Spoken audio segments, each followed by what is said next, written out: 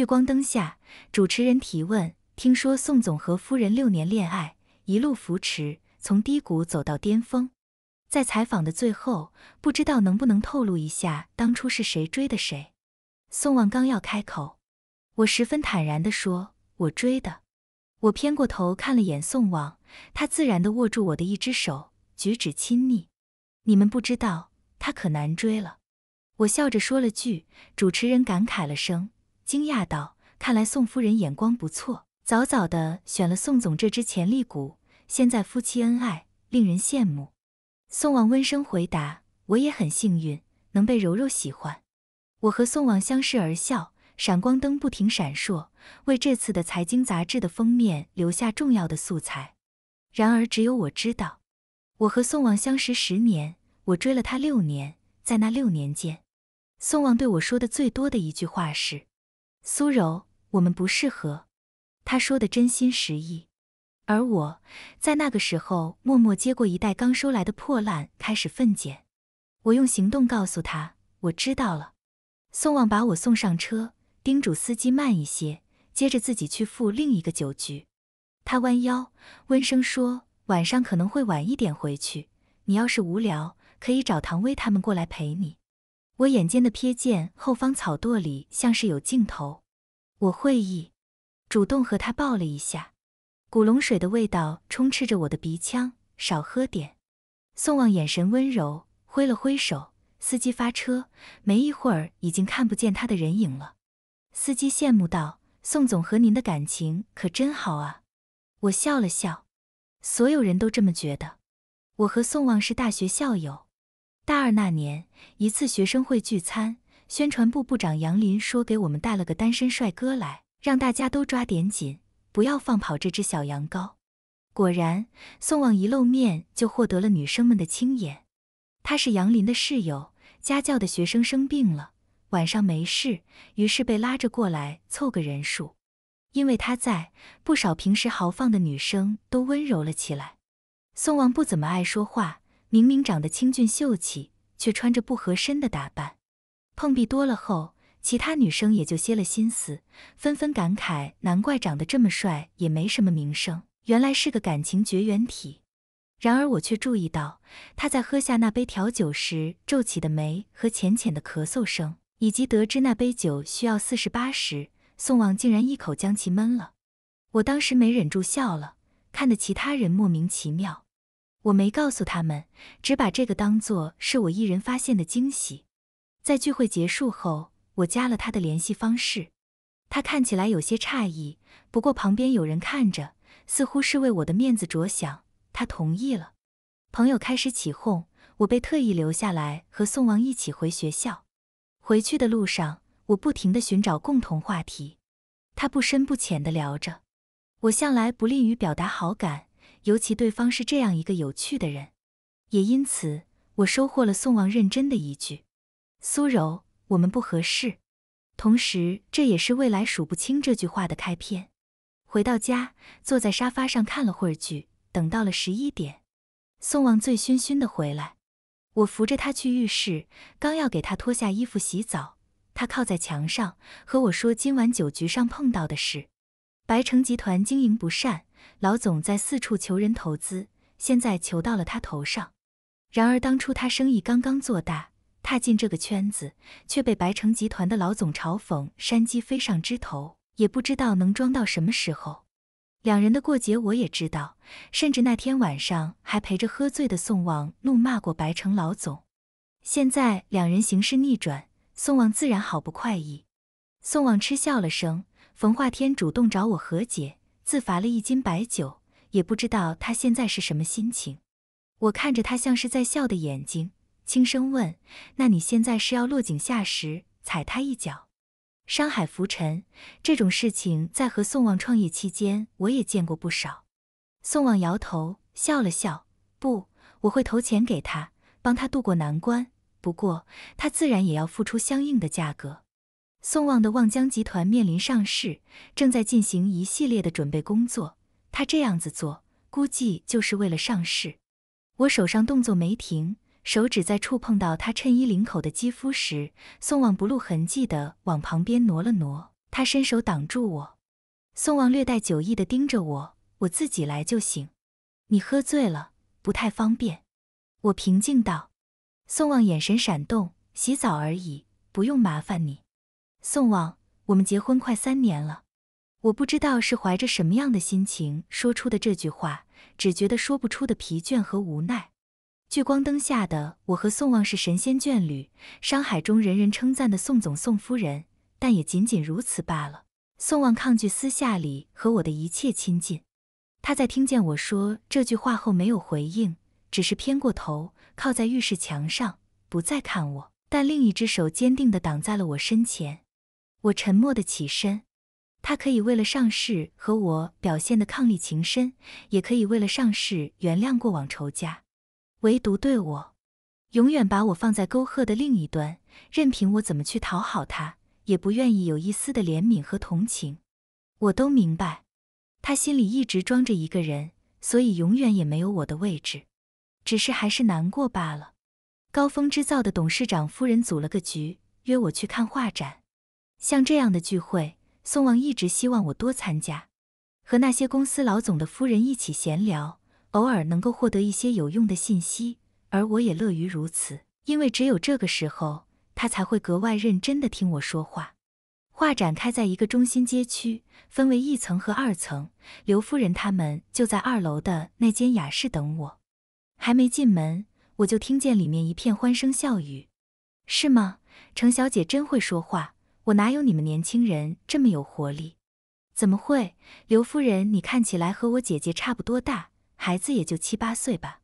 我站在门口，看见刘夫人被哄得言笑晏晏，孟夫人和方夫人端详着一幅画作。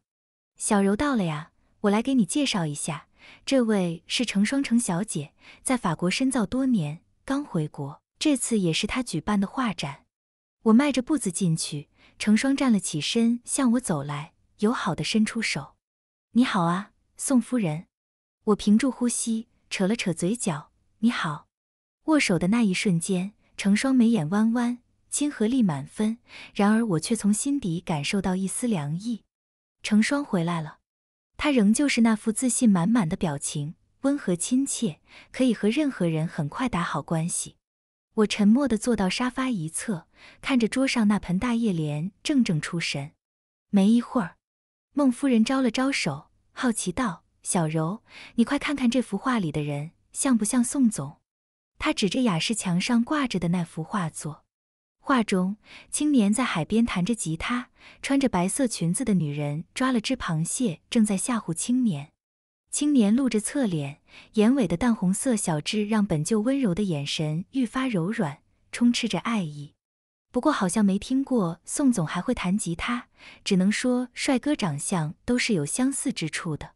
成双淡笑着问：“宋总？”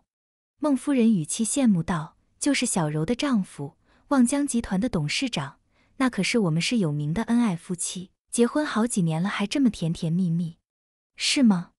那还真是令人羡慕。成双温声应了句：“得体舒服。”我站在画前，胸口闷闷的，让人难以喘气。明明成双只是简单的说了一句：“哎，这画上的女人是程小姐。”方夫人打量了下，才发觉画中那人的穿着和成双现在穿的如出一辙。成双莞尔，紧接着他们又开始八卦起了画上的那个男人是谁。成双富有深意的看了我一眼，是我的初恋。就算是富太太，对于八卦也是十分好奇的，于是又开始问成双的爱情故事。成双说，他的初恋很帅，脾气很好，对别人拒人于千里之外，唯独对他特别照顾。他的初恋还特地学会吉他，因此手指都伤到了，还想办法在他生日的时候在海边布置惊喜。刘夫人和方夫人连连感慨：“年轻人的爱情真是甜蜜，哪像他们老公，浪漫两个字怎么写都不会。”我们这些人估摸着也就小柔体会过爱情的甜蜜了。那最后为什么没在一起呢？成双闻言也轻轻叹了口气。我当时拿到了巴黎一个学校的 offer，他也想要跟过来，可惜没有申请上。之后异国他乡又有时差，难免生疏。他话里话外都是对这段感情的惋惜，连带着其他几人也跟着有些扼腕。那你现在可要赶紧联系联系初恋，也许人家还爱着你，万一成了，那也是一段佳话。方夫人见我一直不说话，还以为我被他们夸我和宋望的恩爱而害羞，还调侃我：难道不应该觉得自豪吗？能够把一个男人的心抓得这么死，他们都很羡慕。我都能想到我的脸色此刻有多么苍白，因为成双说的那些故事我都知道，甚至还旁观过部分。总结起来，我是成双甜蜜爱情的见证。嗯，他和宋望的。宋望学的是国际贸易，大三的课程排得很满。为了和他多接触一些，我去找了熟悉的朋友。在他们的口中，宋望很孤僻，除了舍友，基本没有什么朋友。也没有什么社交，平时做的最多的就是兼职。唐薇给我出主意，让我像块口香糖一样粘上去。所谓烈男怕缠女，我嗤之以鼻，转头蹲守在他去家教的路上，等着他兼职结束。他并不喜欢这样，只是架不住我脸皮厚，泰然自若地说出那句：“路这么宽，走同一条路不是很正常的吗？”宋望买不了路，当然只能忍我。尽管他对我还是那样不咸不淡，总归算是有进步。而真正让我们关系更近一些，是那次下雪，他发了高烧，实在起不来去上课。他打电话给我，鼻音浑浊，声音断断续续的。他教的那个初三学生快要期末考了，复习进度不能拖慢。宋望问我有没有时间去帮忙上两节课，课时费用给我。正愁找不到机会献殷勤的我，毫不犹豫答应了。家教的学生小声对我说：“他还以为宋老师是铁人，没想到也会找对象。”我板着脸上完了课，却无法抑制因为这句话而心花怒放。最后还请他吃了顿炸鸡，以此来换取宋望的一些消息。宋望烧了三天才降下来。他病好之后，为了还人情，第一次主动约我吃饭。晚上六点。鸿运餐厅，我精心准备了一个妆容，准时到了餐厅。可宋望迟迟没到，心想着他可能有事，再等等就是了。不成想，宋望打电话给我，问我怎么还没有到。反应过来不对后，我装作自己迷路了，从他那里问到了餐厅地址，是在学校后街的一个苍蝇馆子。鸿运餐厅这家店位置偏僻。人不多，桌椅上都浮着一层油。宋望就坐在门内那桌，安静的等我。见到我来，他打了个招呼。我坐在他对面，旁边椅子连着墙壁上的蜘蛛网。我有些无所适从的把包放在了自己腿上。宋望怔了怔，随后偏过眼，把沾着油脂的塑料菜单给我。菜单上种类不多，但每样菜的价格都很便宜，不会超过二十五。这家店你常来吗？有什么特色菜推荐？我尽量平静，不让自己显得手足无措。然而墙上不知什么时候冒出来的蜘蛛，还是让我差点尖叫。我胆子并不小，只是南方虫子对于北方人来说，实在是隔了一道次元壁。宋望看得出来，放下菜单，自嘲且认真地说：“苏柔，看见没？我们之间隔着很多东西。”在其他人享受大学带来的轻松快意时，他需要不停地做兼职去赚钱，还需要兼顾学业，一刻也不能停歇。他想要请人吃饭，也只能去最普通便宜的馆子，接受性价比带来的普通环境。这些东西哪怕不说，仍旧清晰地横亘在我们面前。我接过菜单，点了个回锅肉、水煮肉片，还有时蔬和橙汁。你还要加菜吗？宋望愣了愣，大概是怀疑自己刚才难不成说的太隐晦了。我当然听得懂，我是个很会看眼色的人。只不过那时候的我坚定地认为，只要真心喜欢，那么一切外因都可以克服。可在我绞尽脑汁去清除宋望与我之间的外因时，我才发现，原来最大的困难并非家境，也不是性格，而是心有所属。我和宋望算得上关系还可以的朋友，因此很轻松的，我知道了他心底有一个人，成双。宋望的青梅竹马，两人来自同一所高中，高考填志愿约定好一起来这里。第一次听见宋望提及成双时，同样也是我第一次看见他眼睛因为一个名字而发光。宋望说，成双喜欢跳舞，不过最喜欢的是画画，一直在为去法国做准备。宋望还说，他也要去法国，这样才好近距离照顾成双，不然留成双一人在国外上学，他不放心。宋望更说，他这辈子最大的梦想就是要让成双幸福，所有的未来中。宋望设想的都是成双。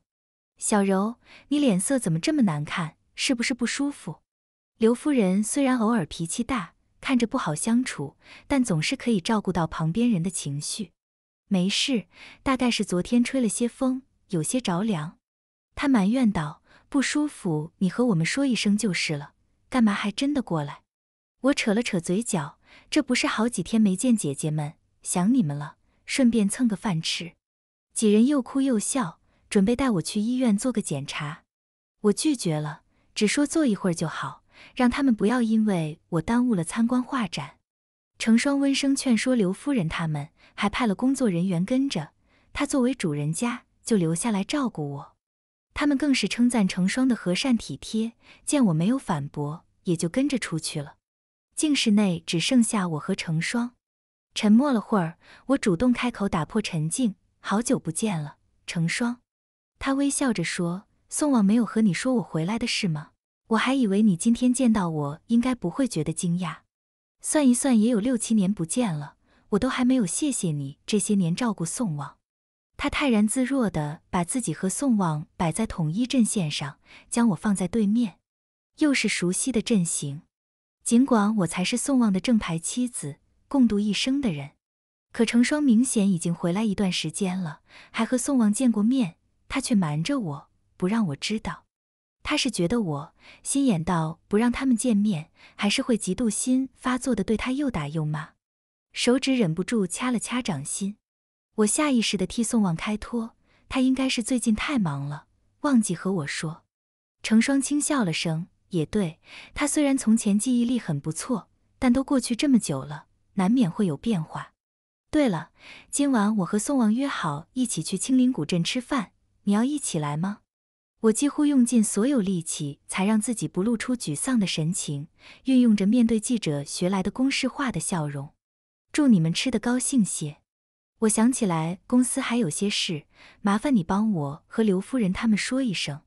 我都能想象出来自己现在这副仓皇逃窜的背影有多么好笑。成双的几句话就轻而易举地击破了我的防线，令我溃不成军。但是想想，我似乎也没有什么盔甲能够让我抵御这一切。也许现在打电话给宋王，他听了之后会皱眉，让我不要闹了，再把一切归咎到我不明事理，非要去找成双的麻烦。离开这片街区后，我漫无目的地走在街上，因为创文，街上明显比平时干净了不少。还记得当初我和宋望捡垃圾、收破烂的时候，最常打交道的就是那令人厌恶的臭味。那时宋望出国申请没有通过，家里奶奶又生病，急需一大笔钱，他借不到钱，又不愿意接受我的帮忙，最终用一点积蓄租了辆三轮车来收废品来赚钱。天气炎热，只在路上走都容易中暑，我和宋望就撩着袖子。从各家回收而来的垃圾废品中整理分类，偶尔还能够找出腐烂了的食物，酸味和臭味交织，无法言语的味道。第一次我吐了，宋望面无表情的让我回去。他和我不一样，他也不需要我为他做这么多。我强忍着臭味，告诉他我可以做到，连手套都没戴紧时就继续上手。为了省钱，午饭宋望订的菜市场七块钱一人的盒饭，一荤一素。饭不限量，菜上面的油明显过量，米饭口感很硬。宋望以为我会被这些困难给吓退，可我只是回去之后开始上网查资料、做笔记，看看有没有什么经验可供参考。我陪着他度过了最困难的六年，从收废品到开公司创业，付出了不知多少汗水。而宋望哪怕没明说，也没有改变他曾经落下的评判：我们不合适。我打了个电话给他，告诉我今晚准备煮螺蛳粉火锅，最近这个特别火，晚上要不要回来吃饭？宋望声音潺潺，今晚不回去了，我有个局，抱歉。去哪儿？宋望顿了下，青林古镇。我的心沉了下去，好一会儿才低声问：和谁？重要吗？不重要的话，不能推了吗？我想和你一起试试这个火锅。宋望似乎不太高兴。你平时从不干涉我去酒局的。话到了口中，可我却怎么也说不出来。我想告诉他，我不希望他去见成双，想要他承认他欺骗了我。但我也清楚，这些毫无意义。他只是把妻子这个身份送给了我，心并没有。当晚我没有回家。唐薇看见我的表情，便猜到了七八分。他是唯一知道我和宋望真实情况的，也曾劝过我放弃。然而几次之后，他便不再做无用功了。你来的倒是巧，你前两天小号不是转发了一条朋友圈吗？我正准备今晚试试，到时候再喊你过来吃。餐厅桌上摆着的恰好是螺蛳粉火锅，还有许多我想吃的菜。原本还能够坚持住的我。忽然觉得有些难挨，原来被人关心惦记的感觉是这么的好，不需要多复杂，仅仅只是一顿火锅就可以让人觉得满足。唐薇下好菜，给我盛了小半碗汤尝尝味道，接着正色道：“说说吧，今天是怎么了？”我把白天经历的告诉唐薇，她面色变了又变，到最后却什么也没说。对不起。为我这些年听不进他的劝告而道歉，也为他哪怕如此也没有怪我而道歉。唐薇愠怒道：“朋友之间不需要道歉，你要真觉得不好意思，就多吃些。”他怜惜的看了我一眼：“你这些日子瘦了好多，看着都没之前的精气神了。”上个月宋望和我一起参加一个酒会，他的助理给我送了一条裙子，可尺寸不对，我穿不上。他淡淡的问我了一句：“最近是不是胖了？”那天之后，我忧心忡忡的去减肥，午饭之后基本不吃东西，体重虽然下降，损耗的同样还有气色。然而唐薇一眼就可以发现的地方，宋望整整一个月也没有看出不同。原因倒也简单，无非就是用心不用心罢了。报复性的吃了顿火锅，桌上的啤酒罐空了五六个。还是唐薇制止我才停下。唐薇准备打电话给宋望，告诉他今晚我住在这里。我伸手阻了阻，坚决不同意。不要打，我要回去。微微，送我回去。唐薇向来奈何不了我，他把我送到家，看着我意识还算清醒才走。我就坐在地毯上等着宋望回来。不知道过了多久，我浅浅的打了个盹，被开门声吵醒。宋望见我这个模样，微微皱眉：“这么晚了还不回房间睡？”紧接着，他用手指挡在鼻子下：“什么味道？这么臭？你喝酒了？”他依旧像是平时那样，挂好外套，准备去浴室洗澡。而我突然站了起来，向他走去。我闻见他身上的香水味，这个味道白天闻过，印象很深。我问他和谁吃饭，宋望不想回答。喝醉了的我却不依不饶，是成双吗？你为什么不告诉我他回来了呢？这样我们还可以一起为他接风洗尘。宋望看着我，没必要。我怔了怔，是啊，没必要。他和重要的人见面，带我去做什么呢？我低不可闻地说了句：“可我会难过啊。”宋望好像听见了，却没有任何反应，仍旧不悦。螺蛳粉味道不好。我早就说了，不要在家里吃。还有，喝了酒就早点睡，不用等我。我看着他上下唇动，着了魔的去扑了过去。我主动搂住他的脖子，想要亲一亲他的嘴唇，再不济也可以碰一碰他的脸颊。宋望厌恶的把我推开，冰冰冷的留下一句：“苏柔，你喝醉了。”我没醉，我倔强的回答。宋望不愿和我争辩，去了客位洗澡。我终于还是没有做到，哪怕特地喝了酒来壮胆，也做不到。明明只是亲一亲而已，我只不过也想感受一下被喜欢罢了。为什么就这么难呢？宋望换上了睡袍，看也没看我，就去了客房睡。我心头一抽，最终还是无力的回了房间。当天晚上，我做了个噩梦。宋望把离婚协议书放在我面前，让我签下名字。他现在等来了成双，自然也应该有情人终成眷属。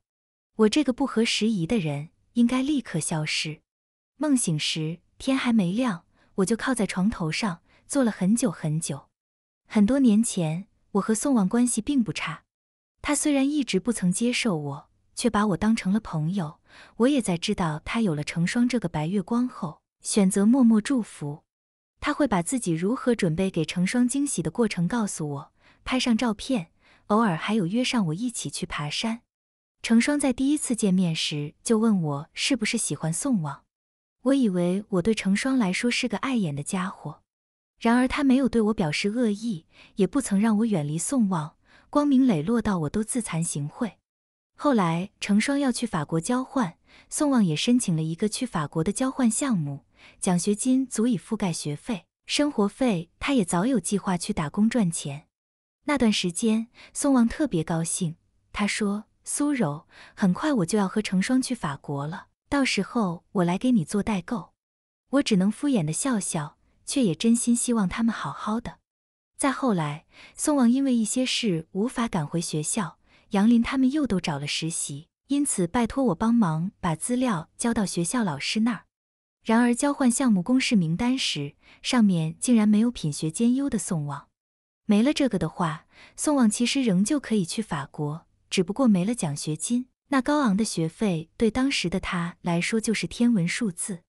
宋望只能看着成双离开，他一个人喝了好几天的闷酒，对我也不理不睬。我明白他的难过，所以也不曾打扰。直到我从朋友那儿知道他奶奶生病，家里急需用钱。这才找上了门。我在天明之前反复回顾了一下这几近十年间我和宋望的相遇、相识，再到结婚，似乎从来都不曾有过甜蜜，唯有朋友之间的敬重和亲切，唯独没有恋人之间的爱意。我陪他经历艰难的创业初期，一直不曾离开。他为了补偿，终于在创业成功发家后的第一个月和我结婚。我以为是多年相伴感动了他。但其实只是感动了我。对他来说，这段婚姻是补偿，是公司运营的一部分。家庭生活幸福美满的领导人，更符合公司发展乃至上市。再也没有一个像我这样不求回报且好掌控的人了。他只需要给一个妻子的名义，我就愿意奉献出所有的一切。可为什么他就不能心软一次呢？因为这次的失礼，宋望让我冷静冷静。他现在忙着公司上市，不想要浪费时间在这种无用的情感牵扯上。然而，仅仅是下午，我就看见成双的朋友圈里，他和宋望在西餐厅喝下午茶。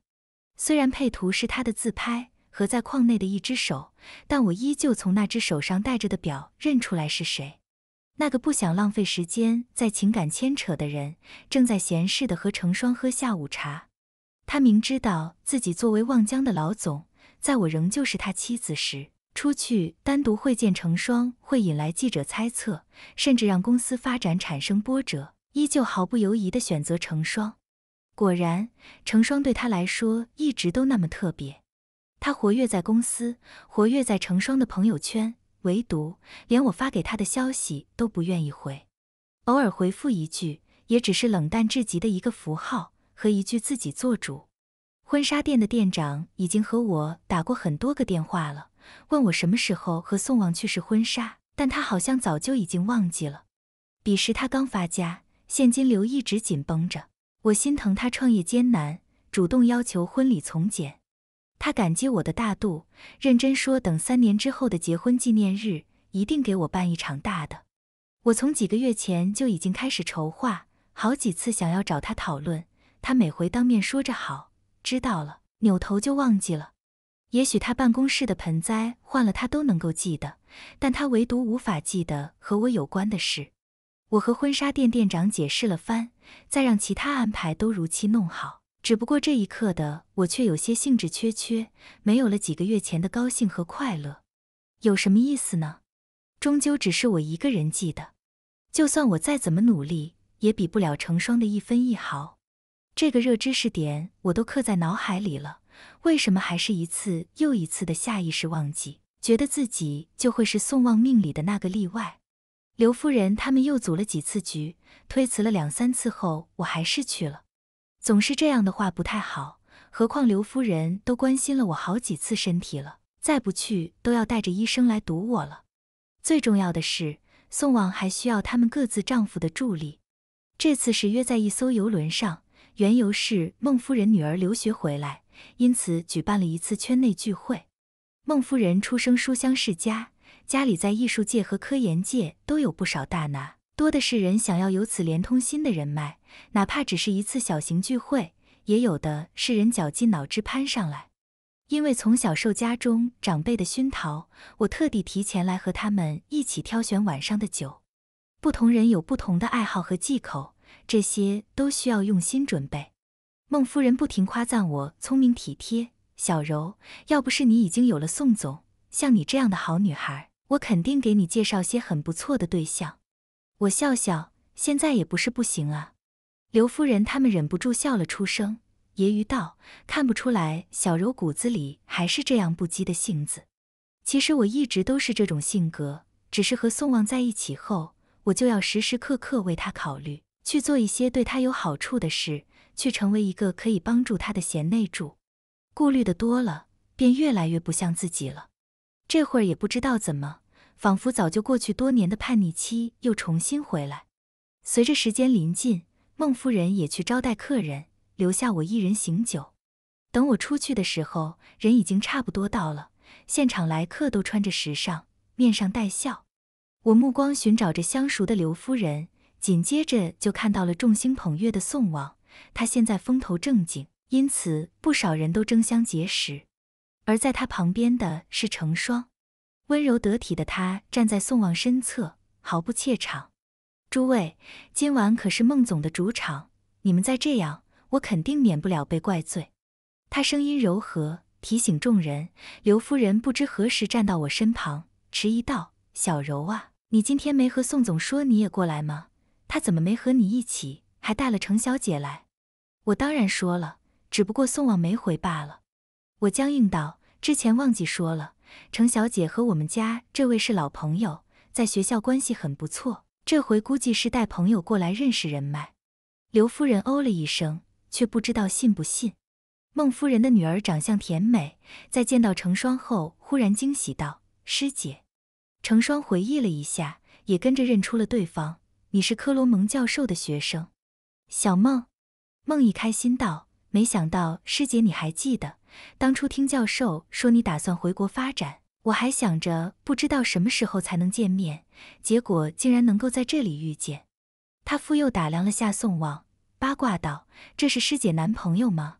果然和你很配。”孟夫人就在旁边，原本还笑着，紧接着拉住了孟毅，及时道：“别乱说话，宋总已经结婚了，宋夫人也在这里。”孟毅自觉说错话，连忙噤声。这会儿所有人都在搜寻着我，一下子大家的目光都汇聚在了我身上，我有些不知所措。刘夫人忽然挽着我的手。大大方方地带着我到众人面前，看着孟夫人道：“思绵，原本今天我们几个特地穿的朴素一些，免得抢小姨风头，没想到我们还是成了中心点，真是半点不由人。”刘夫人家大业大，她一开口就有不少人附和。我收拾好心情，感激地看了眼刘夫人。宋望站在我身旁，从刘夫人手中接过我的手，一副恩爱的模样。可我突然觉得无趣了起来。不动声色地移了个身子，和刘夫人继续攀谈闲聊。宋望站在原地，眼眸深沉。他大概在生气，我竟然当众这样对他。但那又怎么样呢？每个人都有脾气。这一刻，我真的累到不想再去演戏了。成双和孟毅的导师关系很近，因此偶尔有机会交流。成双也算是孟毅一个崇拜的对象。因为这样的关系，有不少人也开始主动认识成双。宋望也拿出了好同学、老朋友的名义来替成双牵线。想要成为一名优秀的艺术家，优秀的作品是一回事，好的人脉同样是一回事。宋望热心的样子被我尽收眼底，我浅浅的抿了口酒，便借口去洗手间，转而去三楼甲板上吹风。咸湿的海风刮得我脸颊生疼，可我却好似没有感觉。宋望过来了，他蹙着眉，不要闹了，我只是带成双过来认识些人，我都能猜到的理由，我没闹。我认真说。宋望不太满意，觉得我这样子会让别人以为我们感情不好。头一回，我没有顾忌的说，这不是事实吗？宋望，我们的感情何时好过？这句话说出来后，我前所未有的轻松了一些。原来不知不觉间，我已经积蓄了太多的怨气，哪怕成双没有出现，这一次的宣泄也依旧会有，不过就是早晚罢了。宋望闻了闻我身上的酒气，沉声说。你喝了多少？其实没有多少，一杯罢了。但是有的时候是人想醉罢了。宋望似乎很生气，留了句“你最好注意些”就离开了。我靠在栏杆上，心想是要注意些，不要真的当众在所有人面前质问宋望，他到底对我有没有一分喜欢。那样的话，孟家会尴尬，宋望会尴尬，所有人都会尴尬。外头实在有些冷，我转身准备回去。就看见了成双，他唉了声，抱歉，我不知道宋望带我来，没有告诉你，更没想到会对你造成困扰。我仔细看着他的眼睛，他不自觉地后退了半步。我只是轻声问道：“真的不知道吗？”成双抿唇，头一回不再从容，这也算是我和他之间交锋第一次占据些微上风。原来需要的只是对宋望不再那么抱有希望，但这无用。他想要说什么？我向前继续走，右手随意的摆了摆，示意他什么也不用说，因为都不重要了，不重要了。聚会结束前，我和刘夫人他们打了声招呼，接着自己开车离开了。一路上窗户打开，呼啸而来的风让人脸上滚烫。其实宋望对我也曾温柔过，他会在我发愁考试时给我整理公选课笔记，会在我想要减肥时盯着我跑步。会在我生日的时候准备一份自己拼的积木小房子，那么到底是什么时候变了呢？从他知道自己不能去法国，而我又在这个时候粘了上去，就是这个时候，他看我的眼神再也没有了之前的温柔。我忍不住自嘲的想，怪我太粘人了，而这样的主动对宋望来说太廉价了，只会对他产生逆反心理。但凭什么？凭什么我的喜欢就是廉价的？回到家，我洗了个澡，也根本没有心思再想任何其他东西。宋望他是回来，还是和成双去玩、去聊天，都和我没有关系了。关上灯没一会儿，宋望回来了。他进了房间，站在床头，静默了会儿。我刚才等了你二十分钟，我没有理他。你知道那些人刚才怎么看我的？说完，他好似大度道：“今晚这是最后一次。”以后不要再这样了。他在怜悯我，恐怕心中还觉得这几近服软的话已经是我的莫大荣幸。我脑子里的那根弦终于断了，不会再这样了。宋望，再也不会让你为难，让你丢人了。宋望淡淡说了句“知道就好”，接着去洗澡，然后去书房工作。晚上睡觉，宋望躺在另一边，我闭着眼睛，潜意识驱使着我不要往那边靠过去。宋望一直不肯和我亲近。从前我都是厚着脸皮，装作睡姿不好，把腿放在他身上，不时挤过去，偶尔还可以把手放在他的胸膛，在他没发现时感受着心跳，砰砰砰，宋望的心跳。那时候我会在心里数着，想着数到一千，或者一万，或者十万，宋望就可以对我敞开心扉，接受我的存在。然而现在。我一点也不像离他太近，没有意义的事少做，做了也只会惹人生厌。宋望难得没有直接去公司，甚至起得比我还晚。他问我早餐吃什么，我想了想，鸡蛋牛奶。宋望不满，不想吃这个。他几乎不在家吃早餐，我便随便垫吧两口就是，想着等他在家，我为他精心准备丰富营养的早餐。那我点外卖。我回答，外卖不营养。宋望有些情绪，那就没办法了。宋望怔怔看着我，似乎不敢相信我会这样说。对了，后天有空去试婚纱吗？之前说好的三周年纪念日举办婚礼。我平静无比地说出了这三年最期待的愿望。宋望像是还在生气，留了句随你，便扯了件衣服出门了。我慢条斯理地剥着鸡蛋壳，并不在乎他的恼怒。我只是在想。只要圆了这最后一次梦就好，那样也就没有什么遗憾了。很快了，也就几天。宋望离开的下午，就和成双去爬山了。山清水秀，鸟语花香，身旁又是心上之人，他肯定很开心。是婚纱那天，宋望姗姗来迟，他板着脸，穿着我为他挑选的西装，简单的试了一遍后，就急匆匆的离开了。店长有些尴尬，苏小姐。宋先生，他，我示意他不要紧张。我和他吵架，现在还在生我气呢，不关你的事，也不是对衣服不满意。店长这才松了口气。试好婚纱之后，我开始最后一轮核对婚礼的准备。婚庆的方案已经改无所改，酒席的菜品也都考虑了各地口味，只有媒体原本想着借着这个补办婚礼的点，再营销一次恩爱，现在完全不必要了。不然之后离开，对宋望公司的名声也不太好。我想了想，干脆把酒席给取消了，仅仅留下了教堂举办仪式这一环节，这已经足够了。就算婚礼能够办得再豪华、再完整，但很多东西却早已经无法弥补。我开始静静数着日子。宋望自从上次吵架后，便一直与我冷战。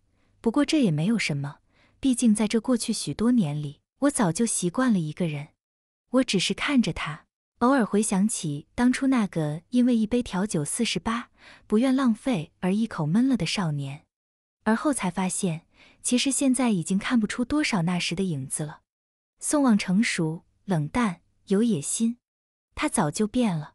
我的心情开始变得不错，阳台外的风景都跟着生动了起来，不再死气沉沉。闲下来的时间。我开始主动约刘夫人他们吃饭。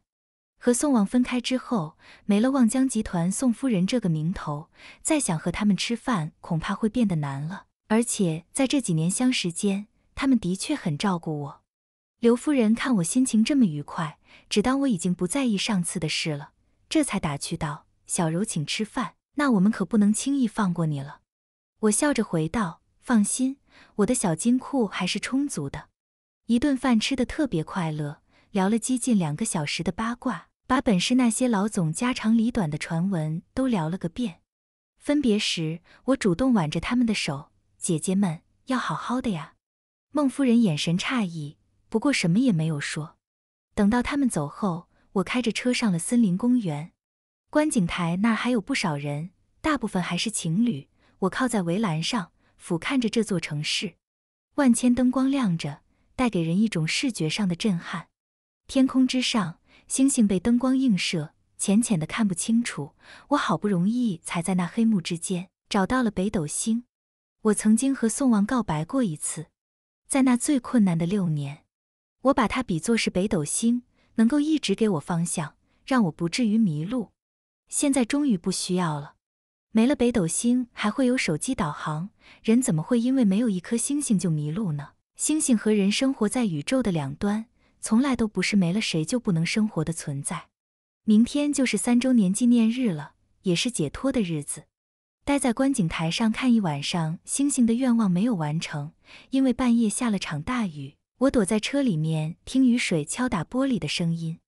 有人给我发了条消息，我打开手机，是成双发的。他发了一个视频，视频中宋望头发湿漉漉的，穿着浴袍。视频没有声音，但这也足够了。我在车里坐了一夜，没有急急忙忙打电话质问。第二天，我取消了教堂预约，赔偿了一笔费用，将这已经裁剪过的婚礼给彻底结束。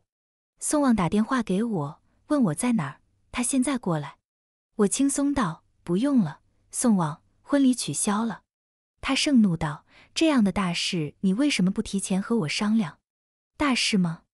我以为你从不在意，宋望不满苏柔，你最近是怎么了？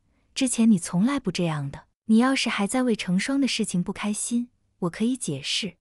我早就没了听那些东西的心思。我静静道：宋望，从前的我就像踩在溪上的青石，我想，哪怕河流再湍急，只要我慢慢挪过去，我就可以走到终点。后来我才知道，溪水的尽头是河流。河流的尽头是山海湖泊，这本身就是一场没有尽头的比赛。就这样算了吧，宋望。我实在是追逐不动了。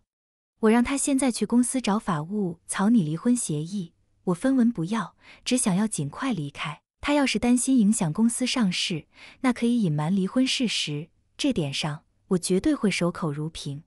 宋望似乎没反应过来，好一会儿才咬着牙守口如瓶。苏柔，你知道你在说什么吗？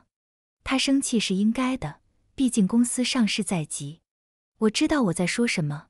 宋望，念在我帮你的那六年，全了大家的体面吧。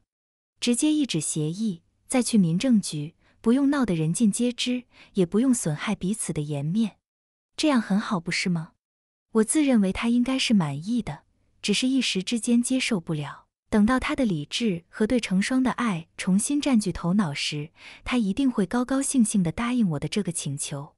那个离婚协议，曾经我觉得是噩梦，谁知道反倒是我主动提起来的。我甚至觉得这本身也不是什么大事，生老病死，起起落落，不过就是一时的分分合合罢了。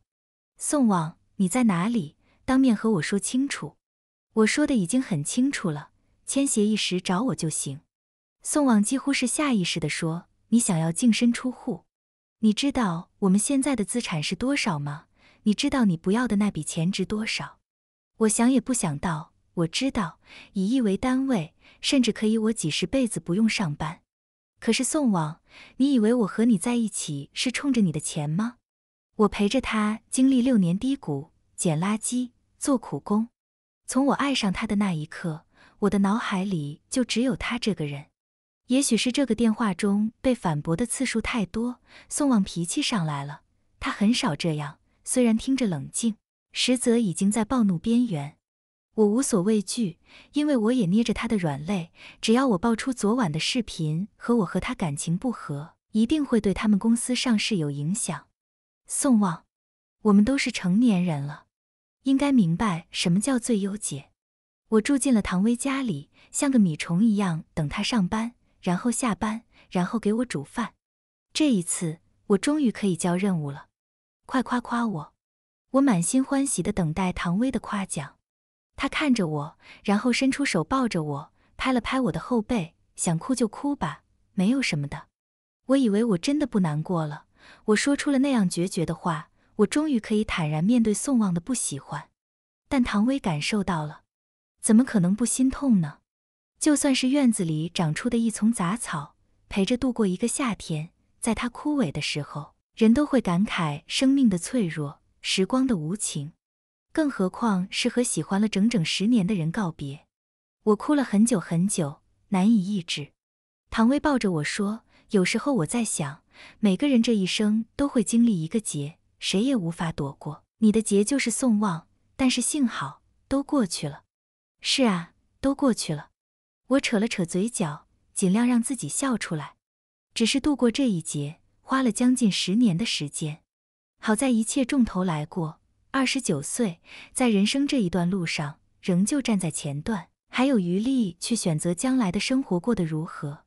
宋望迟迟没有找我，也许是在等我主动认错，但他这次估计要失望了。我开始纠结起了接下来的生活，该找什么工作。该抽个空回家，该吃一些因为宋望不喜欢而没吃的东西。唐薇在安慰了我两日后，见我精气神恢复过来，开始找我要生活费。我打开支付软件，微微，我是净身出户。唐薇咬着牙，没出息的家伙，早知道你是穷光蛋，我就不收留你了。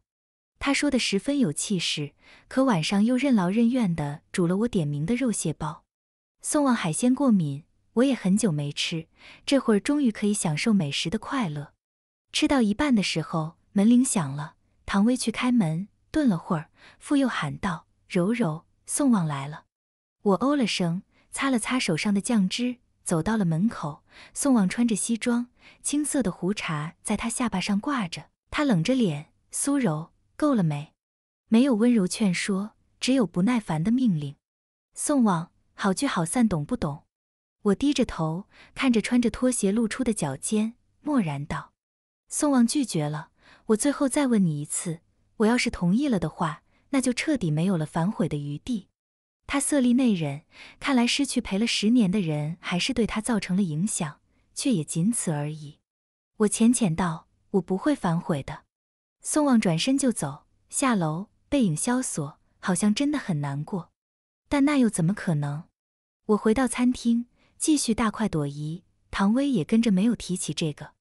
吃完之后，我们一起打了会儿游戏，因为技术太菜而被满语音的骂。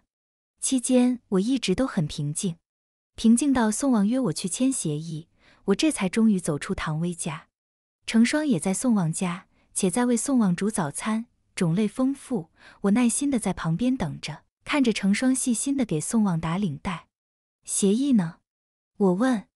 宋望不耐烦的去书房找出了一份文件，扔到了我面前。我看了看条约，只要签下这个，我就和宋望没有任何关系了，包括他的财产。宋望看着我，成双亦是如此。我反倒被看笑了。放心，我这不是已经在成全你们了吗？签名这个很简单，我拿着属于我的那份起身，然后让宋望和我一起去打离婚证。宋望铁青着脸，许久没有说话。我叹了口气，成双、宋望，很久以前我就该祝你们幸福了，好在现在也不晚。我不怪成双，在我和宋望还未离婚的时候和他旧情复燃，因为这没有意义。倘若宋望没有心思，他们也不可能。这种事情怪谁都没有用，只能怪我和宋望没有缘分，强行撑了这些年后，终于可以放开了，一切都将回到正轨，包括我对宋望不该生出的爱。临出门前，宋望突然问苏柔：“你真的要离婚？”我没有回答，因为这事已经结束了，早该结束的。宋望虽然和我签下了离婚协议，不过该有的应酬暂时还无法走脱。他要是现在光明正大的带着成双站在人前，那才真叫奇怪。三周年纪念日后的第三周，有一档综艺节目要来本市录制一期，宋望发消息让我和他上节目。我有些摸不着头脑，那些酒局宴会访谈节目也就算了，这年头还有综艺请大公司老总上，非你莫属这类节目，应该也不至于还要求家属一起上节目吧？我回了句知道，没有去问他综艺的情况，只在约定的时间抵达了录制地——蓬莱温泉度假村。到那之后，有工作人员会接待，我才知道这档综艺的名字命中注定。简而言之。这一档 CP 类恋爱综艺，综艺嘉宾会在度假村内度过两天，而我和宋望以及另外几个艺人，在棚内通过观看直播分析，看看他们之中谁能够在这一期选出自己的命中注定。这档综艺的冠名让我理解了宋望被邀请的原因，大概是公司投了钱，然后制片组觉得宋望与我还算符合这个恋爱人设，因此邀请。节目嘛，量至上。而且能够傍上资方，何乐而不为？可惜他们想错了，我和宋望已经一刀两断了。我在酒店内休息，没一会儿，宋望来了，他面无表情。我躺在阳台的躺椅上打了声招呼，他没回，我也乐得自在。分房间睡自然是不可能的，不过也没必要。曾经合法夫妻都没有过亲密接触，现在离婚了，更不必担心。只是两个人这样僵着也不是个事。我想了想，却没有找到什么话头。他不记得我的喜好，自然共同话题也很难找出来。总不能拉关系到十年前大学时期的那些事拿来炒冷饭。你和成双打算什么时候结婚？我最后蹦出了这句话。宋望像是被电了一样，不敢置信地看着我。我没反应过来，我这是触碰到了什么禁忌了？宋望干巴巴回答：“我和成双没有什么，都已经这样了，还要掩耳盗铃。我还是头一回知道他是这样的性子，干脆懒得理会。”第二天，嘉宾们这次是第三期录制，没有多少生疏，该有的目标也都有，约等于一群人正在度过暧昧期。其中一个北大男生和一个视频博主很有默契，不过两人性子都有些沉稳内敛，总是点到即止。不敢表明心意，看得其他几个艺人摩肩擦掌，恨不得亲自撮合。综艺的主持笑着说：“宋总，你和宋夫人恋爱是什么样子的？要是换作是你在参加这个节目，你会怎么做？”宋望看着我，眼神温柔了下来。我和小柔在恋爱期好像也没有什么甜言蜜语，不过他很关心我，只要我一个眼神就明白我想要什么，和他相处会让人觉得很舒服。至于第二个问题，如果是我的话，肯定会把对方约出来，然后直接表明心意。主持人和其他艺人都在夸赞宋望，还真是直来直往的作风。只是这恋爱可不是谈生意，总要来点浪漫才行。宋夫人，你觉得呢？我跟着笑道：“没办法，谁让我摊上了这样的一个人。”宋望全程一直在看我，我也看向他。在装作和宋望恩爱这方面上，我自信经验丰富，不弱于任何人。而后，我一直在认真的看着直播。年轻的嘉宾们小心试探，创造浪漫，有双方都有意思的，甜甜蜜蜜。也有多线关系，哪怕回应不好，仍旧想着如何去改变关系。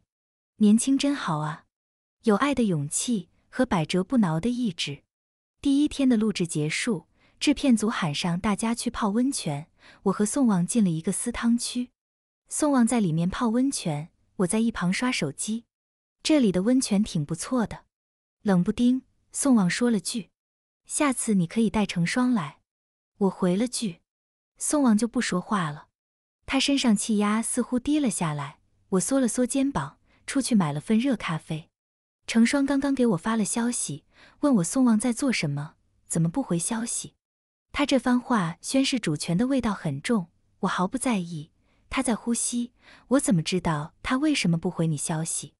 我逛了逛周围，还遇到了其中两位嘉宾，男生似乎在和女生约好看星星。其中一人还在认真的讲解星座，我笑了笑，心到这样子可不会追到女生，但我也很羡慕能有人这样子笨笨的追逐。第二天录制很顺利，晚上有一个小酒会，我借口身体不舒服去到湖边散心。这次之后，我会让宋望不要答应其他的邀约了，最起码这一类型的不要，免得我和宋望破坏了这类恋爱综艺的风水。从来没有爱过的人，何必上这种恋综？至少我是真心希望他们之中有人能够有情人终成眷属。湖光山色，风景宜人。我安静的思考人生，从大气层的到陨石，再到蚂蚁搬家。宋望竟然还能找过来，对不起，苏柔。宋望道歉了。我几乎要以为听错了，然而看着他的表情，我知道没有听错。我有些意兴阑珊，要是这句道歉可以早一点，再早一点就好了。那时候我的爱意不曾消磨干净，些许的温暖就可以重新升起爱意。现在不行了，被冰水浇灭过的炭火再想燃烧没有这么简单，不需要了。但我和成双没有什么，真的，我不愿意再去争辩这个，只是把和成双的聊天记录给他看，视频你自己看看。宋望脸白了白，复道：“视频关了声音。那天其实是我和成双避雨，恰好酒店只有一间房，我们身上又湿了。可我们真的什么也没有做。”宋望的解释太过苍白，因为他和成双为什么会淋雨，他还没说。我并不是因为成双才决定和你离婚的，宋望，你现在只是觉得我离开了，对你公司有影响，再加上习惯作祟。但这并不是无法解决的问题，时间会磨平一切的。再过几个月，或者半年、一年，你可以和成双以另一个形式出现在人前，他也会为你养成新的习惯。宋望摇摇头，苍白着说：“不是的，这不一样，你和他不一样。”我点头附和：“我当然知道不一样，你们互相喜欢，我是无关紧要的路人甲。”宋望，不要再做无用功了，你应该知道的。这些年的相处才是我们分开的原因。是啊，你的确没有亲自拿刀戳我，可你这些年对我的伤害和用一万把刀在我身上割肉放血有什么区别？年复一年的冷漠，日复一日的疏离，这才是不爱的真相。我喜欢你，你喜欢成双，我本来就知道，所以浪费的这些年便是我该付出的代价。我真的能接受，大家都是成年人了。我背过身，看向湖面，不去看着他。我们之间的距离在这一下被隔开了很远。宋望说：“我知道我错了，我现在后悔了，就不能再给我一次机会吗？”我没回答。宋望突然说：“我知道我犯了很严重的错误，但是当初我申请出国交换，你……他言语未尽，令我奇怪。出国交换那件事怎么了？我记得是我帮你送的材料给老师。宋望声音极低。我后来去找老师问了，送去的材料里少了关键的几张纸，可我明明记得当时是全的。他像是在和我说，也像是自言自语，仿佛溺水的人抓住最后一根稻草。我们都犯过错，那就互相抵掉，行不行？以后重新开始。我愣住了，我站在原地，艰难转过身，气得没有一丝一毫的力气，只能颤抖着。怎么会有你这样的人？我为什么会遇见你？你以为是我不想你和成双一起去法国，所以把你的资料给漏掉几页？宋王不解地看着我，看着他的表情，我哪里会不明白？原来从那时候开始。他就已经认定我是破坏他出国的元凶，是造成他和成双感情无法存续的祸首。难怪那时候他对我忽然冷淡了下来，不愿意和我交流。万千情绪交织，我仍旧难以平复心情，颤抖着道：“宋王，你太过分了。”“不，不是你。”宋王呆住了。此刻我像是被钓上的鱼，无力地挣扎着。所以你是想报复我吧？想要看见我因为和你在一起而开心，却始终被你冷暴力，遭受你那溢于言表的憎恨。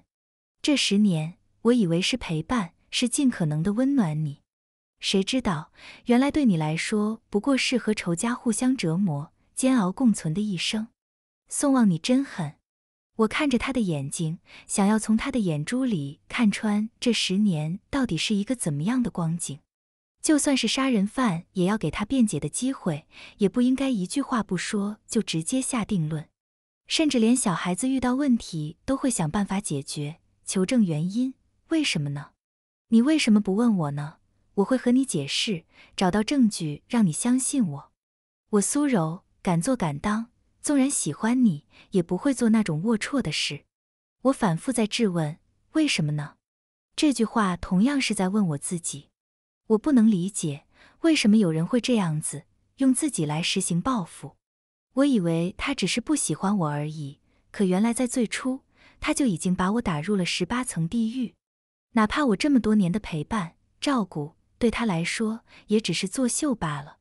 心脏不停的在抽痛，我拿出手机，磕磕碰碰的打给唐薇，泪水早就已经铺满了脸颊。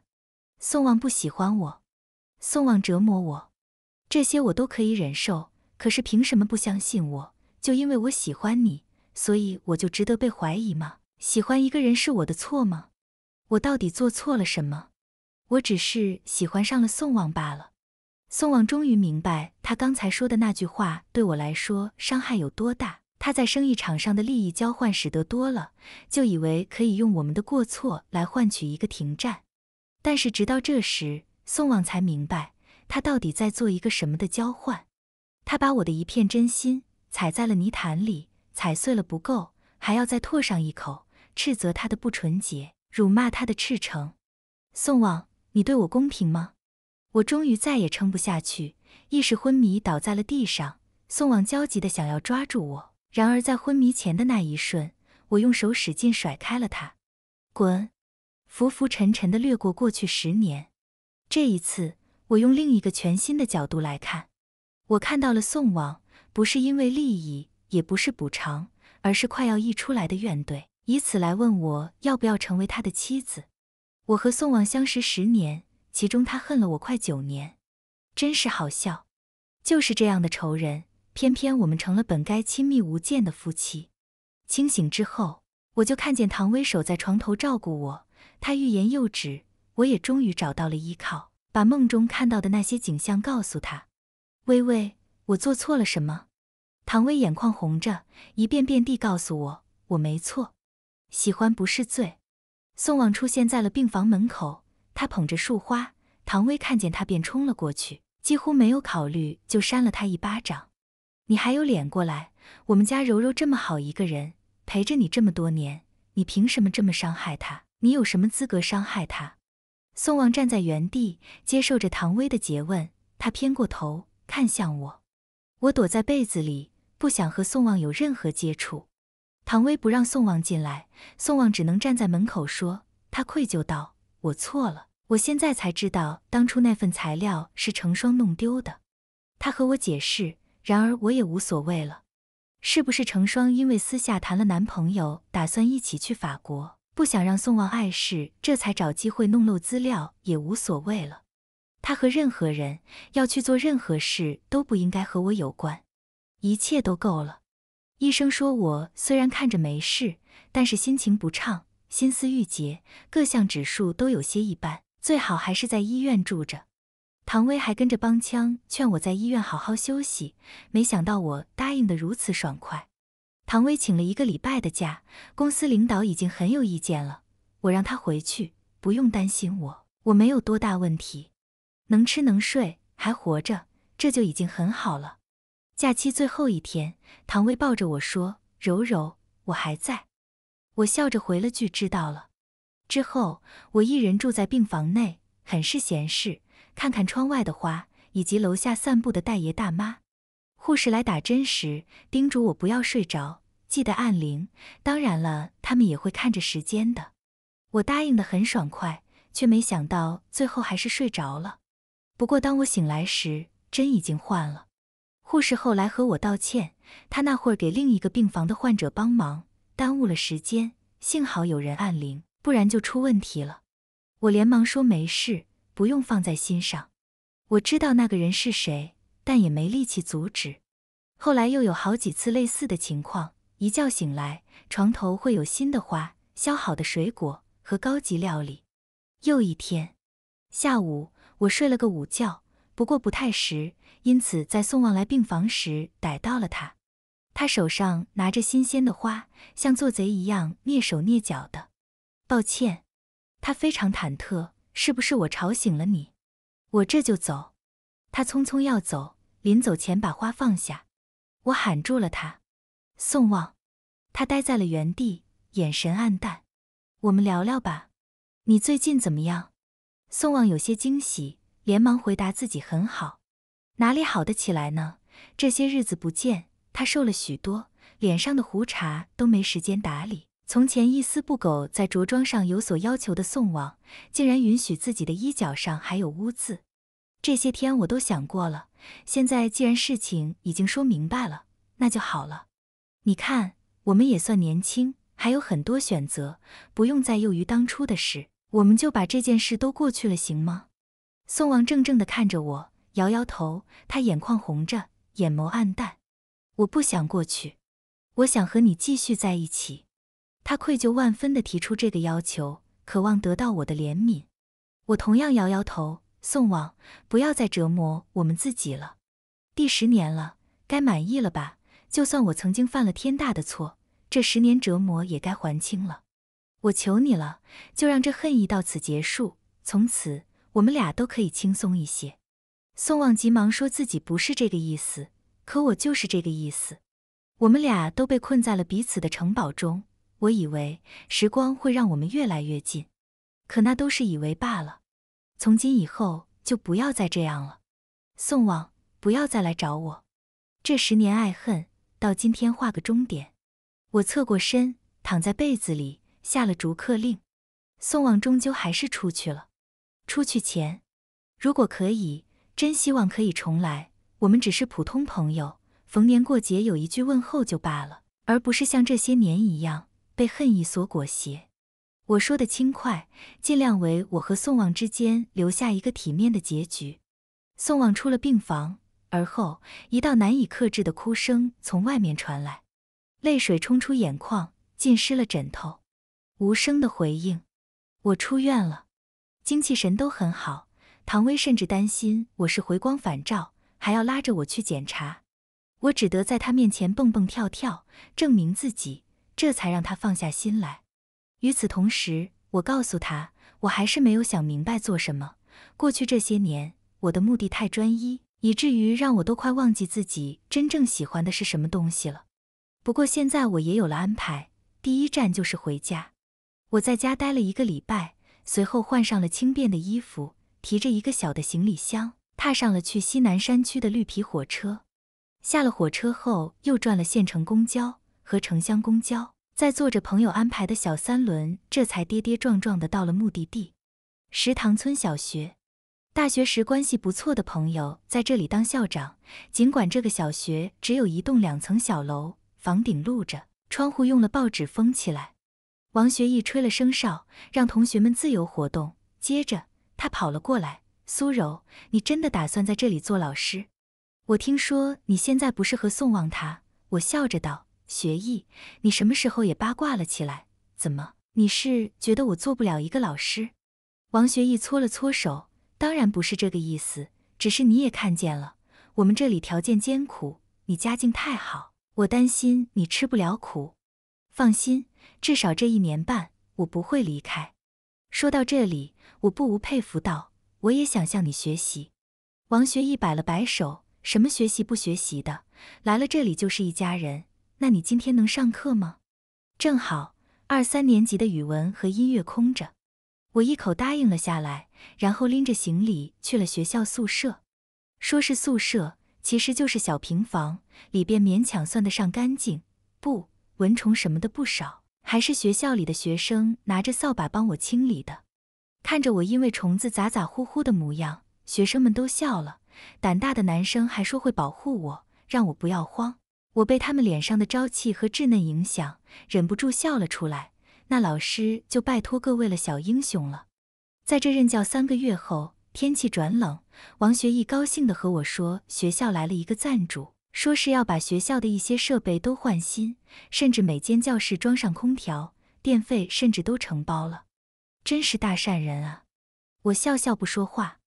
后来冬至的时候，学校食堂煮饺子，大厨就是王学义，附赠了我这个包饺子新手。同学们叽叽喳喳的在我旁边闹腾，比着谁的饺子好看。忽然有学生说：“苏老师，外面一直有个人在看你，你认识吗？”我放下饺子，看见食堂外面一个高大青年站在寒风中望着这里，却不敢靠近。我轻声说：“对，是老师的一个朋友。”男生问：“男朋友吗？”我摇摇头，没说话。而后饺子熟了。我寻了一个干净的不锈钢饭盆，装了一些饺子，让班上的体育委员拿出去给外面那人。同学们奇怪问道：“老师，为什么你不和朋友见面聊天呀？现在也没在上课呀？”我轻声道：“因为朋友之间不一定需要见面，有的时候见面不如不见。他是江上清风，恰好被我遇见，是我罔顾自然，把他禁锢在身边。现在好了。”清风无拘束，我们也不用再相见了。宋望，愿你我皆好。番外不见，宋望失落的从办公室回来，他确认自己真的和这个出国交换项目失之交臂。老师让他不要气馁，以他的成绩完全可以选择保研，将来发展并不一定就差。然而只有他知道，他难过的是无法和成双一起去法国。成双安慰他。约定几年之后再见。宋望苦笑着附和，却并不看好那虚无缥缈的未来。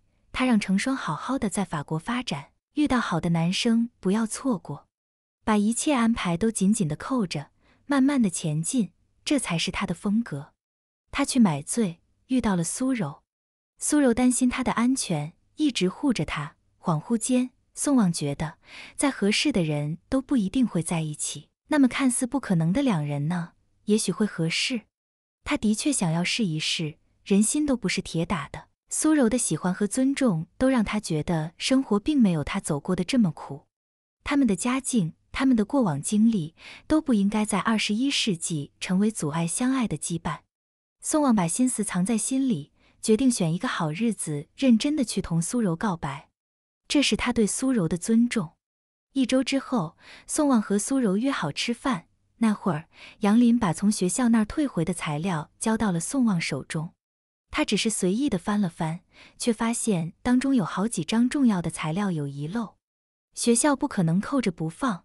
他也问过杨林，对方肯定自己绝对没有弄丢其中的东西。宋望不可避免的想到了苏柔，他的好朋友，即将告白的女生，会不会是他？他的喜欢明晰清澈。也许，也许就是他因为喜欢自己而做出了故意的破坏资料的事。